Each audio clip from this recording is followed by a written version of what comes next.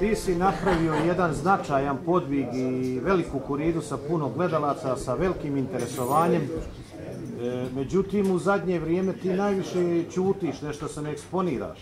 Pa slušaj, ovo da kažem, ja radim koride, imam namjeru da radim i dalje i želim ovaj da ovo je jako dobra prilika da iskoristim ovaj da publika vidi da ovaj se izjasnim da bilo dođe na suglasica i sa mnom, i sa Acom, i sa Mujom, i sa ovim, i sa onim.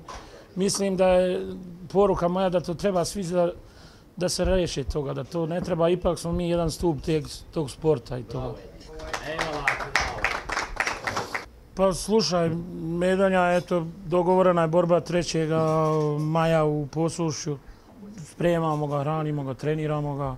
Vidit ćemo, eto, ja sam tu borbu dogovorio. Mislim da je u sad sazrijeva još mladi, on skroz bio i kad je s kobrom bo, ali nagodno očekivamo puno više od njega, pa sad može svak promašiti. Tvoji radnici koji treniraju Medonju, e, šta oni tebi govore za njega, kakav mu je karakter, e, kakav je za rukovanje i tako?